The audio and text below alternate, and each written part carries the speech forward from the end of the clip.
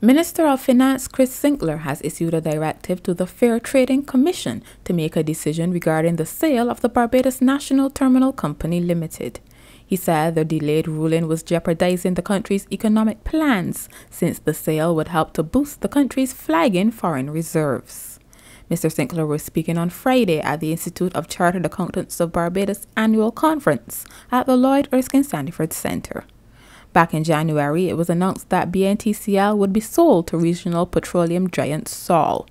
In a preliminary report dated June 14th, the FTC said some aspects of the proposed deal were unlawful and said the transaction should not be permitted.